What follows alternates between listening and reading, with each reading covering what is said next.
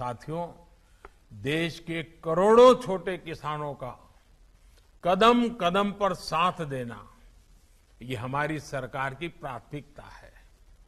PM किसान सम्मान निधि ऐसा ही एक प्रयास है। इस योजना के तहत अब तक देश भर के किसानों के बैंक खातों में लगभग दो लाख करोड़ रुपए सीधे ट्रांसफ़र किए जा चुके हैं।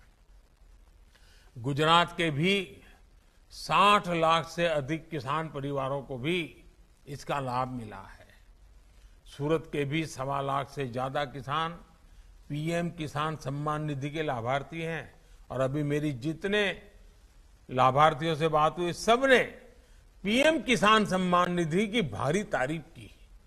मुझे याद है, पहले की सरकारों में किसानों के नाम पर बड़ी बड़ी घोषणाएँ होती थी।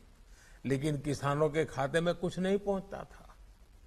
लेकिन डबल इंजन की सरकार किसानों के हितों को सर्वोपरि मानते हुए काम कर रही है। इसी सच्ची नीयत के कारण ही देश का, गुजरात का किसान बार बार हमें आशीर्वाद दे रहा है।